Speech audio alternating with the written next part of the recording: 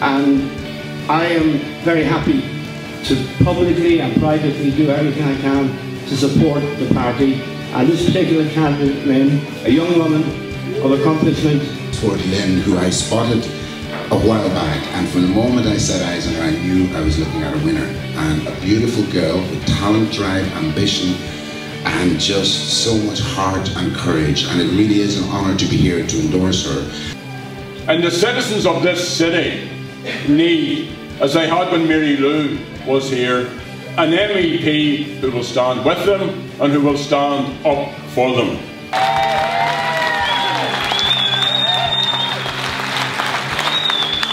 And on 23rd of May, voters have a choice because they can vote for the likes of Brian Hayes, who believes that EU surveillance is good and who prefers to drink coffee with Werner Hoyer than negotiate with him for more funds to invest in jobs.